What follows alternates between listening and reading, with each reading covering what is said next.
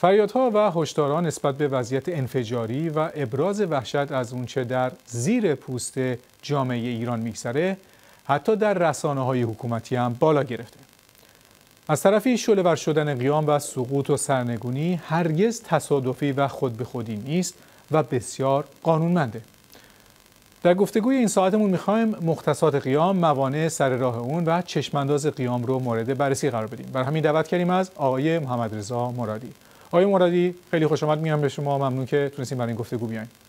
با سلام خدمت شما و خدمت بینندگان عزیز و گرامی برنامهتون و با هزاران درود به کانونهای شورشی و شورشگران راه آزادی. درود در خدمت شما. هستم. چرا قیام 1401 که گسترده ترین و طولانی مدت ترین قیام ها بوده؟ با وجود فداکاری ها و ده ها هزار بازداشتی و خون های پاکی که جاری شد اما به سرنگونی رژیم بالغ نشد. فکر این سالیه که خیلی دارن. بفرمایید. بله. ببینید من توضیح مقدماتی بدم بعد سوال شما جواب میدم. ببینید بها این سرنگونی سرنگونی این رژیم در پس تسلسل یا سلسله از قیام هاست که شکل می‌گیره و به نتیجه می‌رسه. قیام ها یکی بعد از دیگری همدیگه رو تکمیل می‌کنه مثل یک دوی امدادی هر, هر قیامی به رغم فراز و فرودهایی که داشته دستاوردهایی داره و این دستاوردهاش رو تقدیم قیام بعدی کرده و قیام بعدی هم دستاوردهایی داشته و اون رو تبدیل یا تحویل قیام بعدی داده و وقتی که ما نگاه کنیم می‌بینیم که قیام ها به قیام هایی که از 96 به این طرف جامعه ما با روبرو بوده مثل بهمنی بوده که هر حرکت کرده و هر چقدر که جلوتر اومده عظیم و غنیتر و کیفیتر شده و جامعه رو به سمت سرنگونی نزدیک و نزدیکتر کرده. ببینید مجموعه قیام ها وقتی ما به برایند کلی مجموعه قیام ها از بالاتر یک مقداری نگاه کنیم می‌بینیم مجموعه قیام ها از یک طرف رژیم رو هر قیامی رژیم رو ضعیف و ضعیفتر کرده و مجموعه قیام ها به ویژه هر قیامی مردم رو در عنصر شورشگریشون در عنصر رادیکالیزمشون یک گام به جلو پرتاب کرده.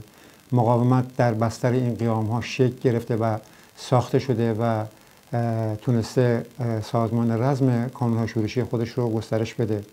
و از سوی دیگه تاثیر گذاشتن روی شرایط بین‌المللی تا جایی که الان شرایط بین‌المللی دیگه باور کرده و از این نقطه هم عبور کرده که به حال این رژیم امکان بقای بسیار بسیار کمی داره. بنابراین اگر من بخوام مجموعه اینا رو رو هم بریزم قیام 401 هم دستاوردهای بسیار بسیار عظیمی داشت و ما باید هر صحبتی که می‌کنیم به این مسئله توجه کنیم. ولی خب متاسفانه این قیام به دلیل کمبودها یا حفره که به هر حال طبیعی بود داشته باشه موفق نشد. لباس از مراحل کمی که طی کرده بود به یک آتش سازمان یافته بالغ بشه و بتونه چیکار کنه خودش رو حفظ کنه در برابر دستگاه سرکوب رژیم. به همین دلیل خب موفق نشد که همون چیزی که شما گفتید به رغم تمام دستاورداش به رغم تمام سرمایه های عظیمی که در این قیام نهفته بود نتونست به هر حال موفق بشه. هرچند که به هر حال پتانسیل یک انقلاب رو برای انقلاب بعدی ذخیره کرده و همه تجاربش دستاورد و بله. رهتوشه راه ما برای قیام بعدی خواهد شد. بله. شما صحبت از مانع می‌کنین. اگه بشه به طور مشخص بگین مانع چیه؟ چی باعث شد ارتقا پیدا نکنه این قیام؟ و به اون خواستگاه اصلیش نرسه. ببینید من اینجا دو تا نظریه رو من به طور مشخص در وقتی صحبت از توقف نسبی قیام یا عبور از فاز اول قیام می‌کنیم برای ورود به فاز دوم به هر یک حد فاصلی بین فاز اول و فاز دوم قیام به هر حال وجود داره. دو نظریه وجود داره برای علت این توقف به رغم تمام دستاوردها و عظمتی که قیام 401 داشت. یک تابلو که به هر حال میگه که دستگاه سرکوب قوی بود و تونست این قیام رو متوقف کنه. این همون حرفی بود که خود خامنه ای توی عید ایاتون باشه توی مشهد مطرح کرد که گفت ما با سیلی و سرکوب این قیام رو متوقف کردیم و از این به نظریه دفاع کرد که قیام های بعدی رو هم باز هم ما با سرکوب و سیلی متوقف خواهیم کرد. یه تابلو و یک نظریه دیگه هستش به هیچ وجه این تئوری و این نظریه رو قبول نداره چون که دستگاه سرکوب رژیم به همون اندازه که رژیم وارفته است به همون رژیم که رژیم در هم شکسته است به همون میزان که تمامیت و کلیت رژیم به هر حال در یک موقعیت بسیار بسیار وخیمی قرار داره نمی‌تونه دستگاه سرکوبش یک دستگاه سرکوب سرپا و زنده باشه. به همین خاطر دستگاه سرکوب رژیم توان و این قادر نبوده که این قیام رو خاموش کنه یا متوقف کنه. به همین خاطر خامنه ای پناه برد.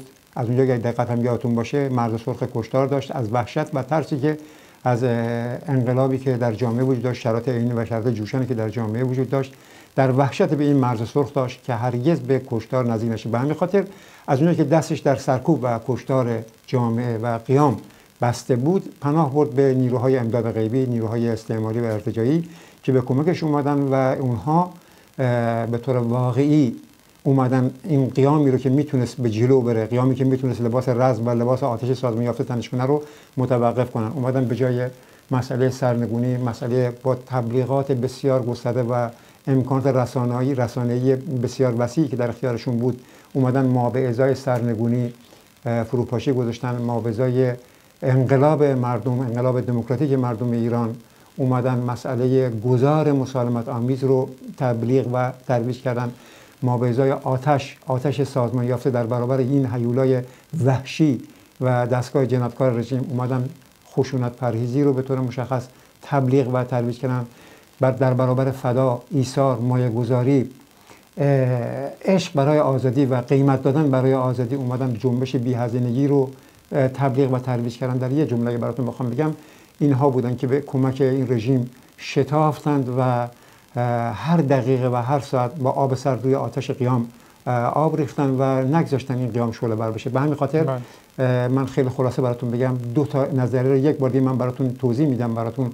یک نظریه این بود که خب سرکوب بالا بود که تونست این آتش رو خاموش کنه. یک نظریه دوم که نظریه درست و واقعی هست که اینکه این آتش نتونست اون شعله واقعی خودش رو پیدا کنه. در نتیجه دستگاه سرکوب به رغم تمام ناتوانی و ضعفش تونست موقت شا کنه.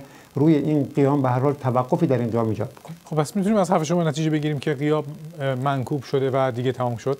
هرگز. ببینید جامعه ایران قیام مردم ایران تسلسل قیام ها پریود قیام ها منحنی قیام ها دستاورد عظیم قیام ها وقتی شما بخصوص از 96 به این طرف نگاه کنید هرگز و هرگز واژه منکوب کردن در مورد قیام و جنبش سرنگون ایران اساسا معنی نداره. وقتی ما صحبت از منکوب کردن می‌کنیم منکوب کردن یک معنی کلاسیک داره. یه موقع ما صحبت از سرکوب می‌کنیم. خب سرکوب الزام هر نبرد و هر جنگی هست. چه بخوایم چه نخوایم. وقتی ما در حال نبرد با, هیو با هیولای برآمده از تاریخ هستیم با چنین هیولای به هر حال چنگ, چنگ, چنگ در چنگ هستیم خب جنگه و نبرده و زد خورد هست. سرکوب هست مبارزه هست و میره جلو. ولی صحبت وقتی صحبت از منکوب می‌کنیم یعنی منکوب یعنی زمینگیر شدن یعنی شکستن قلم پای جنبش یعنی به هر حال طوری جنبش به زمین افتاده که به قول معروف با شمارش داورم دیگه نتونه بلند شه. هرگز چنین چیزی در جامعه ایران متصور شما کافی یک نگاهی بکنید به روند قیام و تسلسل قیام و دستاوردهای قیام و وضعیت رژیم و از روی دیگه همین الان نگاه کنید به وضعیت کنونی جامعه ایران نگاه کنید به زاهدان نگاه کنید به عملیات پراکنده و گسترده که روز به روز علیه مورها و سردمداران رژیم در تمام چهار نقطه ایران داره انجام میشه. نگاه کنید به اعتراضات نگاه کنید به اعتصابات نگاه کنید به جوش و خروش نگاه کنید به همین اخباری که شما الان خود رسانه و سران رژیم مطرح می‌کنن که هر لحظه میگن باید جامعه ایران در انتظار و آماده بعد قیام و خیزش بعدی باشه. به همین خاطر تمام عوامل خیزش سا و قیام سازه که قیام های قبلی رو ایجاد کردن سر جاش به قوت خودش باقی هست. به همین خاطر هرگز و هرگز جامعه ایران منکوب نشده. به همین خاطر هر لحظه ما باید در انتظار باشیم و آماده باشیم برای فاز دوم قیام در سال 402 همون چیزی که رژیم به شدت ازش وحشت داره و مردم ایران و مقاومت تماما بهش امیدوار هستند و اون رو در دسترس می‌دونن و قطعا به اون خواهند رسید. خب شما چشم قیام رو چطور ارزیابی می‌کنین؟ یعنی آیا امکان نداره دوباره همون جوری که خودتون توضیح دادید موانعی بر سر راهش سبز بشه و همون ویروس بی هزینگی و اینا جلوش بپیچه. نه ببین ما از بزرگترین دستاورده که ما قیام 401 داشتیم ببین اشراف و آگاهی مردم ایران هست نسبت به این ویروس شاهپرستان ویروسی که به هر حال ارتجایی و استعماری که اومدش و گفتم با چنین ترما و واجه هایی به هر حال آب سرد تلاش کرد که بریزه روی آتش قیام. ولی به طور واقعی خب این قیام اگر براتون بگم بزرگترین دستاوردش بود. یعنی شناخت این پدیده بود شناخت این ویروس بود.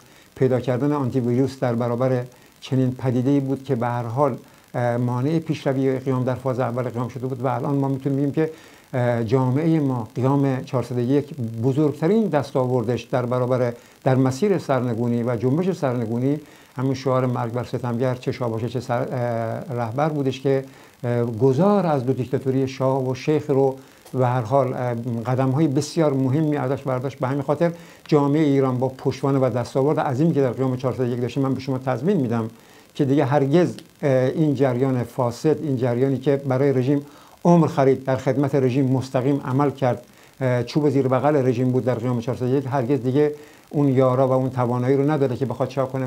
به مسابه یک مانع سر راه آتش بشه و الان مردم ایران با گوشت و پوست و استخون درک می‌کنن لمس می‌کنن که در برابر این دستگاه سرکوبگر وحشی این رژیم تنها پاسخ آتش هست تنها پاسخ مقاومت هست تنها پاسخ آتش سازمان یافته است تنها پاسخ پیوند و پشت پیوند برقرار کردن با مقاومت سراسری و سازمان یافته است. این چیزی که به هر حال مردم ایران الان بهش رسیدن و مهمترین تضمین ما هست برای عدم بازگشت و عملکرد اون ویروس که شما ازش نام بردید بله. هموطنان الان سوالی فرستادم میگن که با توجه به این گسترش اعدام هایی که در این روزها شاهدش هستیم فکر کنم 50 اعدام در, بله در هفته گذشته بود. بله. بله آیا این باعث نمیشه که جامعه بترسه و تو خودش فرو بره و آیا قیام رو این موضوع به تاخیر نمیندازه؟ همونجوری که طرح و برنامه خامنه ای هست. ببینید این سوال خیلی خیلی واقعیه. ببینید این این قیام ها خب طبعا چه به لحاظ داخلی چه به لحاظ بین المللی تماما برای رژیم ضرر هست. اول اولین بحثی که ما باید به این سوال جواب بدیم که این قیام از موضع ضعف یا از موضع قدرت از موضع درموندگی استیصال و بیچارگی به رژیم هستش یا نه واقعا داره باش قدرت نمایی می‌کنه. ببینید اساسا این رژیم اتفاقا وقتی که شما می‌بینید که یک رژیم در دوره 50 اعدام در عرض یک هفته ده روز داره انجام میده به معنی واقعی کلمه نماینگر وحشتش هستش. این رژیم هیچ ابزاری جز سرکوب برای بقای خودش نداره. این رژیم ببینید این وقتی ما صحبت از این رژیم می‌کنیم این رژیم سرکوبگر رژیمی است که دست سرکوب بر نخواهد داشت. رژیمی است که با سرکوب زنده است. این رژیم نظام ولایت فقیه هرگز قدرت خودش رو تقسیم نمی‌کنه و باید شراکت به زیر کشیده بشه. تنها ابزارش بحث به طور واقعی سرکوب هستش. خب خب این دوباره پناه برده. یعنی چون که جامعه به شدت در قلیانه چون که جامعه در گام های بسیار جدی و مهمی رو داره به سمت فاز دوم قیام. فاز قیام در 402 برمیداره و تمام آثار و شواهدش رو شاهدش هستیم در جامعه خودمون. دوباره پناه برده به ابزار سرکوب. خب می‌بینید یه موقع دوباره شروع کرد به بحث یه بار آویزون شد به بحث حجاب. دوباره یه مقطع آویزون شد به بحث مسموم سازی دختران. الان دوباره پناه برد به همون سلاح اصلیش اعدام و سرکوب. خب به همین خاطر هم چون که این دستگاه اساسا مبتنی است بر ضعف و درموندگی و استیصال رژیم مردم پیامشون می‌گیرن و جامعه ما در مختصات کنونی که فهم و شور و آگاهی بسیار عمیق سیاسی پیدا کردن نسبت به تحولات جامعه ایران نسبت به رژیم و مکانیزما و امکاناتش و که به اقداماتش که از چه جنسی است من خاطر من براتون دارم میگم به هیچ وجه جامعه رو عقب, عقب مرعوب نمی‌کنه. و به همین خاطر شما شاهد بشید میگه توی همین هفته گذشته میگه 20 اعدام فقط ما توی زاهدان ما نداشتیم. بله. خب حاصلش چی شد؟ آیا تونست جامعه زاهدان رو چا کنه در خودش فرو ببره؟ تونست زاهدان رو به سلام متوقف کنه؟ هرگز اینطور نبود. برعکس. بله. الان تبدیل شد به سوختی بر روی تظاهرات و روی خیزش ها و اعتراضات مردم به همین خاطر تمام این اعدام تردید نکنید تبدیل میشه به سوخت تبدیل میشه به هیزم و هیمنه آتش قیام رو چا می‌کنه روز به روز اضافه تر خواهد کرد. اتفاقا من با شما خیلی موافقم چون زاهدان و سیستان بلوچستان رو به این دلیل به نظر انتخاب کرده چون اونجا قیام همچنان شعله و هر هفته ما شاهدش هستیم. و بیشترین اعدام ها از اون خطه و نتیجه عکس بله. و نتیجه عکس گرفته دقیقاً. بله. البته به هر چقدر که بیشتر اعدام کنه دشمنان بیشتری برای خودش. تمام خانواده این داغ ها دشمنان جدیدی هستن برای این رژیم. خب حالا می‌خوام خیلی مشخص و با صراحت بگم. شما کسی هستین که در برابر دو نظام دیکتاتوری مقاومت کردین خودتون و خب پرسه بسیار طولانی داشتین.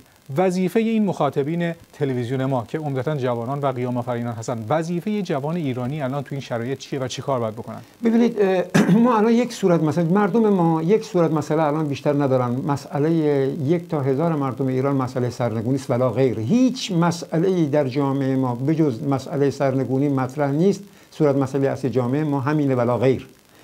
وقتی ما صحبت از سرنگونی می‌کنیم صحبت از تسلسل قیام ها می‌کنیم. یعنی صحبت از قیام فاز دوم قیام فاز قیامی که باید در 402 محقق بشه و زمین ساز سرنگونی بشه. بر قطعه جدیدی از پادر سرنگونی رو ما ان الله در این سال جدید چا کنیم تکمیل کنیم و مسیر و قطار سرنگونی رو یک گام کیفی و شاید گام نهایی در مسیر سرنگونی به جلو ببریم. وقتی ما صحبت از قیام می‌کنیم صحبت از استمرار قیام می‌کنیم صحبت از قیام 402 می‌کنیم قیامی که فاز دوم قیام می‌کنیم باید قیامی باشه که حفره و کمبودهای قیام 401 رو نداشته باشه.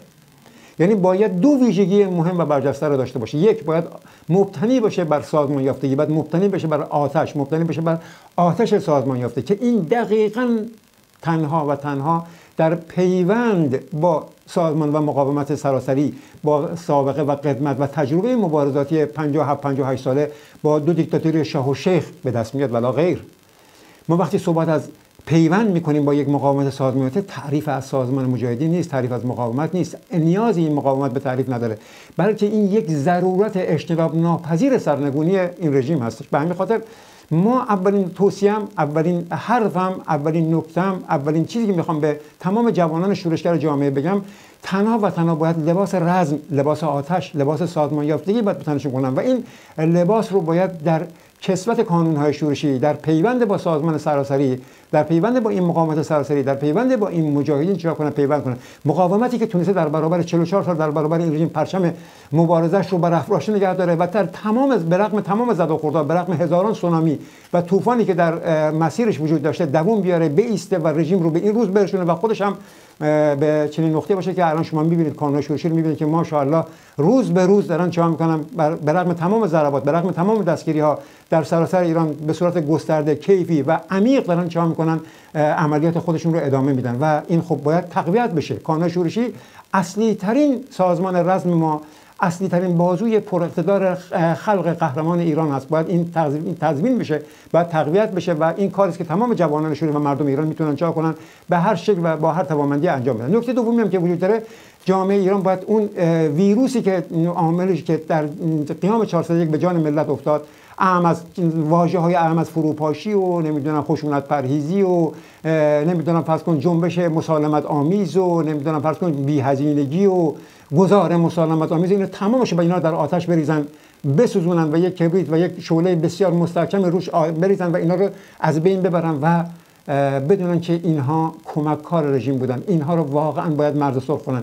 باید با اینا باید مرزبندی داشته باشن. با مرزبندی با این جریان فاسدی که تماما در خدمت رژیم و برای رژیم عمق باید فاصله بگیرن و خودشون رو در بستر اصلی قیام و سرنگونی گو همونطوری که گفتم در پیوند با ارزش های والای این مقاومت ارزش هایی که 44 سال آبیاری شده با خون شهیدان با 120 هزار شهید و با همین شهدای همین قیام با 750 شهید این قیام و اسراش و قهرمانی ها و دلاوری هاش بعد کن این راه ادامه بده بنابراین اگر من به اختصار براتون بگم الان وظیفه تمام شورشگران و زنان و مردان قهرمان و دلاور ایران هستش که این مقاومت رو و در پیوند با این مقاومت این مقاومت تقویت کنن که بتونیم در پیوند این مقاومت با مردم ایران اون کارزار اصلی و اون قیام اصلی سرنگونی رو محقق کنیم نکته بسیار جالبی گفتین در رابطه با این شهدای این مقاومت و رژیم خیلی تلاش می‌کنه که اتفاقا این جنبش رو جدا کنه از مردم ایران در صورتی که این سرمایه و دارایی مردم ایران به همون لیست شهدایی هم که شما گفتین نگاه کنیم بیشترین سازمانی که بوده که مردم ایران اعتماد کردن و فرزندانشون رو برای پیوستن بهش تشویق کردن. هموطنی هم اینجا برامون نوشته احمد وحیدی وزیر کشور آخونده گفته فرقی بین سلاح سرد و گرم نیست. بنابراین جوانان شورشی باید به سلاح گرم مجهز شوند تا از پس این رژیم بر بیان. با سپاس شما آقای محمد رضا مرادی از اینکه دعوت ما رو پذیرفتین و در این گفتگو شرکت کردید خیلی ممنون با تشکر. خدا نگهدار. خدا نگهدار شما.